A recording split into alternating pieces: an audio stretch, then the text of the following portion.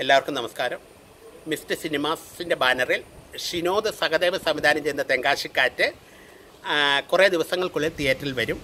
തീർച്ചയായും നിങ്ങൾ കാണണം. കാണാൻ മറക്കരുത്. അതിലൊരു ചെറിയൊരു വേഷം ഞാൻ ചെയ്യുന്നുണ്ട്. തീർച്ചയായും കാണണം. നല്ലൊരു മൂവിയായിരിക്കും ഇത്. തെങ്കാശിക്കാറ്റ്.